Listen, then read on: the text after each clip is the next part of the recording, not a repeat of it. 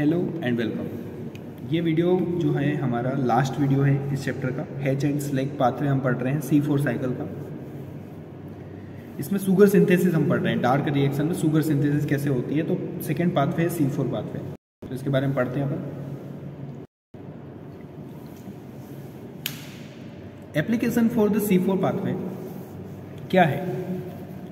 The first product of C two fixation in a C four organic acid इनका है, जो product होगा, वो ए ओ डबल ए होगा, यानी ऑक्जेलिक एसिडिक ऑक्जेलो एसिटिक एसिड ये नाम है, ठीक है?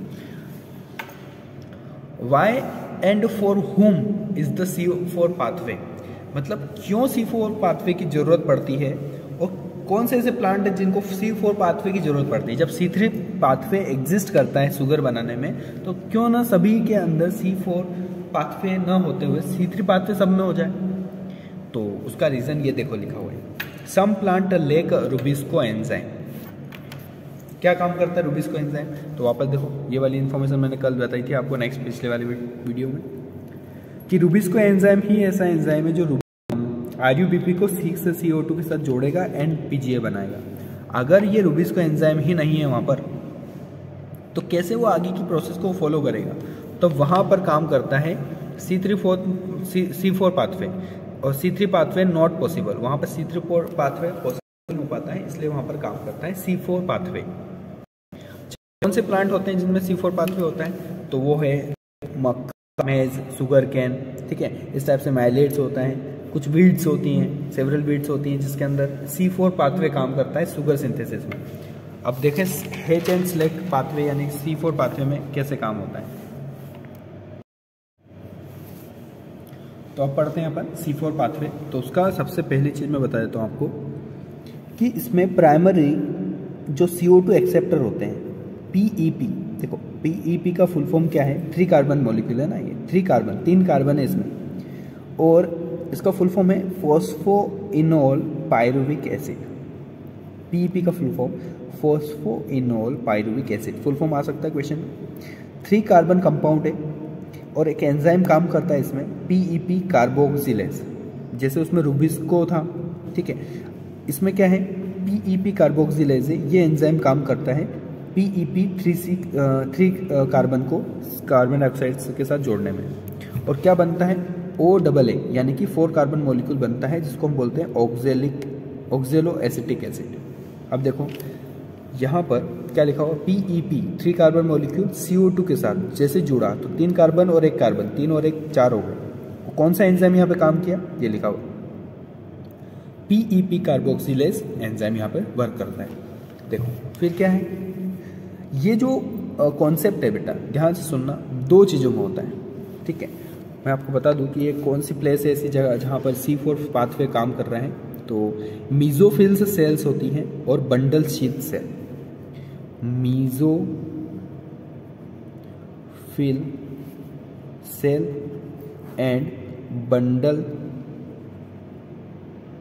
bundle sheath cell. इन दो सेल्स के बीच में ये काम करता है, ठीक है? Mesophyll cell and bundle sheath cell. Mesophyll cell में हम ये कॉन्सेप्ट पढ़ रहे हैं। अभी मेजोफिल सेल में ये काम हो रहा है, जहाँ पे P E P C O two के साथ ज्वाइंट हो रहा है।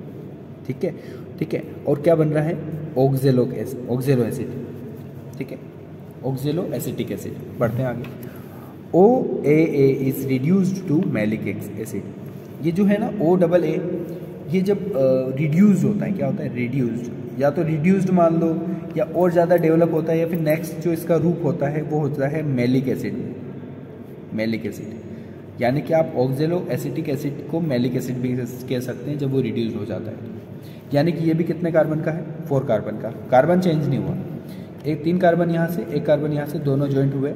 कौन से एंजाइम की प्रेजेंस में? P E P carboxylase enzyme में। और दोनों ज्वाइंट होके ओ डबल ए वाला कंपाउंड बनाते हैं और रिड्यूस होकर मेलिक एसिड बनाते हैं, जिसके पास अगेन फोर कार्बन मॉलिक्यूल होता है।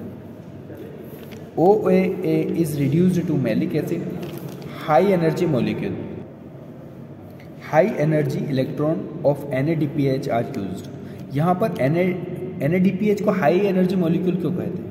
क्योंकि एन एक अकेला एनएडीपीएच तीन एटीपी बनाने की ताकत रखता है। ठीक है? एन तीन ए बनाने की ताकत रखता है। N A is smallest energy molecule लेकिन उसके अगर तीन एटीपी को हम साथ में जोड़ दें तो उसको एन कह सकते हैं। अब देखो। यहाँ पे वापस से मेलिक डी हाइड्रोजनेस नाम का एंजाइम वर्क कर रहा है। क्यों कर रहा है? उसका रीज़न बात करते हैं। यहाँ पे पूरी इन्फॉर्मेशन आपको डायग्राम में दे रखी है। आपको डायग्राम थोड़ा समझ में नहीं आ रहा होगा, पर मैं जब बताऊँगा समझ में आ जाएगा। ये है मीजोफिल सेल्स ये जो लाइन दिख रही है, ये मीजोफिल सेल्स की। इधर इधर वाली जो सेल है, वो मीजोफिल सेल और इधर वाली जो नीचे वाली सेल दिख रही देखो ये वाली सेल दिख रही है। इसको बोलते हैं bundle sheath cell mesophyll cell and bundle sheath cell इन दोनों के बीच में रिएक्शंस हो रही है। यहाँ पर ओ ए ए आया ठीक है? ओ ए ए कहाँ से आया? मैंने आपको भी बताया। P E P full form of PEP, full form of PEP is phosphoenol pyruvic acid is combined with the CO2 and then form OAA यानी कि ऑक्जेलो एसिटिक एसिड ये रिड्यूस्ड होता है मेलिक एसिड में जिसको हम फोर सी कहते हैं जिसको यह रिड्यूस हुआ। यहाँ पे एनएडीपीएच का यूज़ हुआ है। और एन का यूज़ होके वो किसमें कन्वर्ट हुआ? ओ ए ए किसमें कन्वर्ट हुआ? मेलिक एसिड में। फोर कार्बन ये भी फोर कार्बन ये भी। यानी चार कार्बन तक अभी पहुँच चुके हैं कार्बन का यूज़ हो चुका है कार्बन डाइऑक्साइड का। फिर ये मेलिक एसिड जो है, वो कहाँ जाता है? बंडल शीत सेल जब तक मेलिक एसिड नहीं बनेगा, तब तक बंडल शीत में सेल में ये एसिड नहीं जाएगा। पर जैसे ये मेलिक एसिड बनता है तो वो फोर कार्बन वाला मेलिक एसिड बंडल शीत में एंटर करता है from the through the plasmodesmata अब ये कौन सी कहानी? नई नहीं बता रहे कमल सर यानी कि दोनों सेल्स को जोड़ने के लिए जो एक, आप ये समझ लो कि जो बीच में चैनल है, जो बीच में इसमें जो पार्ट दिख रहा है, इस पार्ट को बोलते हैं प्लाज्मोडेस्माटा इसी प्लाज्मोडेस्माटा के थ्रू मेलिक एसिड जो है ट्रांसफ़र हो जाता है बंडल सेल में। आगे की इन्फॉर्मेशन पढ़ते हैं। Malic acid is carboxylated to pyruvic acid ध्यान से देखो। डी कार्बोक्सिलेट और कार्बोक्सिलेट कार्बोक्सिलेट में कार्बन जुड़ता है और डी कार्बोक्सिलेट में कार्बन डाइऑक्साइड में से कार्बन निकल जाता है। समझ रहे हो? मेलिक एसिड जो है कितने कार्बन है मेलिक एसिड में? अभी बताया फोर कार्बन। ये देखो फोर कार्बन इधर आए तो बंडल शीत सेल में आ गए। देखो बंडल शीत सेल में आ गए। ये देखो बंडल शीत सेल यहाँ आ गए। यहाँ प्लाज्मोडेस्माटा था और यहाँ पर था आपका आ, कौन सी? Mesophyll cell. मिजोफिल सेल से हम आ गए बंडल शीत सेल में। मेलिक एसिड जो है कितने कार्बन मॉलिक्यूल है? Four carbon. फोर कार्बन से अब यहाँ पर क्या होगा? डी कार्बोक्सिलेशन होगा। डी कार्बोक्सिलेशन यानी कि चार कार्बन में, में से एक कार्बन निकलेगा। तो जैसे ये डिवाइड होता है तो दो चीज़ निकली। एक कार्बन डाइऑक्साइड निकली और एक पायरुविक एसिड निकला। थ्री कार्बन वाली वैल्यू को अपन क्या बोलते हैं? Pyruvic acid. जो कि थ्री कार्बन का है। और एक कार्बन जो है कार्बन डाइऑक्साइड बन के entered in the Calvin cycle अब तुम खुद सोचो entered in the Calvin cycle यानी जो सी थ्री साइकिल है, यहाँ से ऑपरेट हो जाएगी. यानी सी फोर जो प्लांट होते हैं, उसमें सी थ्री पाथवे होता ही होता है. ठीक है? और जैसे सी फोर वर्क कर रहा है तो जहाँ से सी ओ टू निकली है तो सी थ्री साइकिल कभी भी एटमोसफेयर से सी ओ टू नहीं लेगी. ठीक है? जिन सी फोर प्लांट्स में सी फोर साइकिल होती है, वहाँ पर केल्विन साइकिल कभी भी एटमोसफियर से सी ओ टू नहीं लेगी. वहाँ से उसको Calvin cycle C O two कहाँ से मिलेगी? Each has Hatch and Slack cycle से, जिसको हम बोलते हैं क्या? सी फोर साइकिल तो ये जो सी ओ टू रिलीज़ हुई है, वो कैलविन साइकिल ले लेगी और शुगर बना देगी. शुगर बनाने का काम सिर्फ़ कैलविन साइकिल का सी थ्री साइकिल का, मैं पहले ही बता रहा हूँ. हैच एंड स्लेक भले पाथवे एग्जिस्ट करता है, पर कैलविन साइकिल मेन काम करता है शुगर बनाने में. पर हैच एंड स्लेक यहाँ पर आगे फ़िल्टर लग जाता है, जो सी ओ टू इसको दे देता है. और यहाँ से जो पायरुविक एसिड है वो क्या करता है?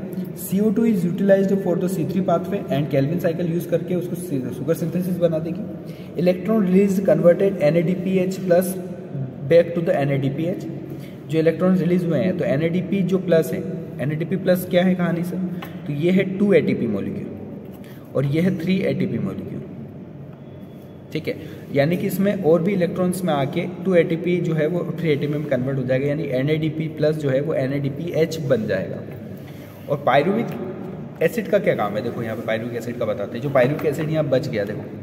ये पायरुविक एसिड यहाँ रिलीज़ हुआ था कार्बन डाइऑक्साइड तो शुगर सिंथेसिस में चलेगी। तो pyruvic acid is transported back to the mesophyll cells mesophyll cell यहाँ पे जो पायरुविक एसिड बना है पायरुविक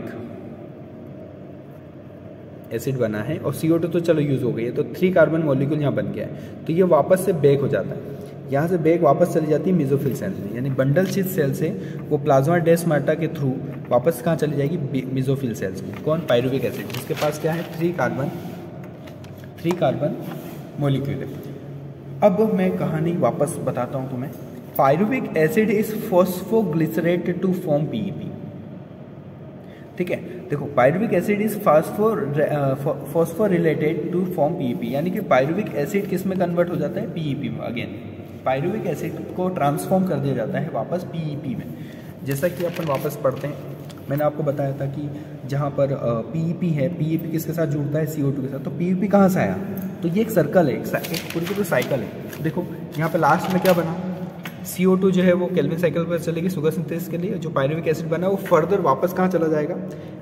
बंडल शीट सेल से मिजोफिल सेल में, और डायरेक्ट वो पायरुवेट एसिड वापस क्या बन जाएगा यहाँ पर? ये पीईपी बन जाएगा।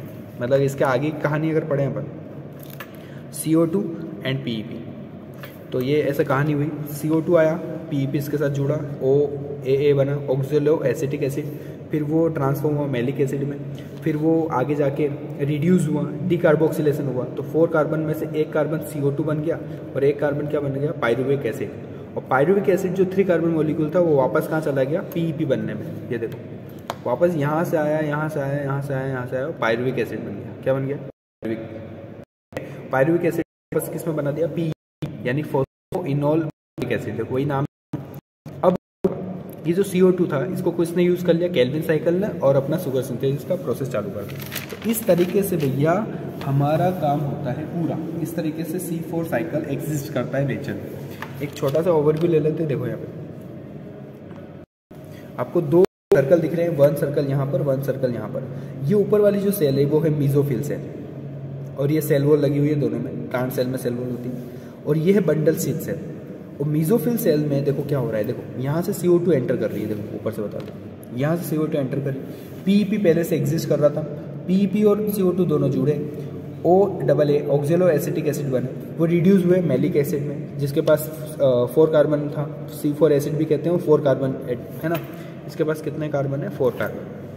फोर कार्बन का डीऑक्सी कार्बोक्सीलेशन हुआ तो वहाँ पे बना पायरुवेट एसिड क्या बना? पायरुवेट एसिड थ्री कार्बन का। और एक कार्बन जो सी था टू का जो एक कार्बन था, वो किस हो गया? केल्विन में। केल्विन साइकिल यूज़ कर लेगी सुगर सिंथेसिस सुगर सिंथेसिस और जो पायरुविक एसिड है अगेन वो फिर कहाँ चला गया? बंडल सिथ सेल से वापस कहाँ चला गया? मिजोफिल सेल और सी एसिड जो था, यानी कि जो पायरुवेट एसिड था, उसको वापस कन्वर्ट कर दिया पीईपी में। अब आगे वापस सी टू आएगा, ऐसे चलता जाएगा। ये सिक्स टाइम रिपीट होगा तो ऐसे सिक्स कार्बन मॉलिक्यूल यहाँ से रिलीज़ होंगे तो six time Calvin cycle repeat होगी और सिक्स कार्बन का ग्लूकोज बना देगा। ठीक है? तो इस तरीके से हमारा हेच एंड स्लेक वाला कॉन्सेप्ट खत्म। लास्ट के कुछ फैक्टर हैं। फोटोसिंथेसिस को अफेक्ट करते हैं लाइट टेम्परेचर वाटर और सी टू कंसेंट्रेशन अगर सी टू ज़्यादा होती है, कम होती है, ज़्यादा होती है तो भी अच्छा है, कम होती है तो बुरा है। वाटर पानी के चाहिए एस टू ओ चाहिए स्प्लिट अगर स्प्लिट नहीं होगा एस टू ओ तो प्रोटोन ग्रेडियंट नहीं बनेगा। प्रोटोन ग्रेडियंट नहीं बनेगा तो एटीपी सिंथेसिस वाला जो एंजाइम है, वो एटीपी सिंथेसिस नहीं कर पाएगा। और टेम्परेचर टेम्परेचर का बहुत इफ़ेक्ट पड़ता है। टेम्परेचर होना भी एंजाइम बहुत सारे ऐसे एंजाइम होते हैं जो टेम्परेचर पे काम करते हैं। अगर टेम्परेचर कम ज़्यादा हुए तो एंजाइम अपना वर्क न्यूट्रल कर देते हैं, बंद कर देते हैं। या डिस्ट्रॉय हो जाते हैं वो। लाइट फोटोन लाइट ही नहीं रहेगी सनलाइट तो कैसे फोटोसिंथेसिस होगी? क्योंकि लाइट से ही तो इलेक्ट्रॉन एक्साइटेड होंगे तभी तो P S one P S two Calvin cycle फलाना ढिमका सब चलेगा। ओके तो यहाँ पर हमारा होता है चैप्टर एंड तो जो भी डाउट हो आपको इस वीडियो को दस बार देखिए, समझिए। फिर भी डाउट आता है तो आप मुझसे कमेंट बॉक्स में क्वेश्चन पूछ के आंसर ले लीजिए। Okay bye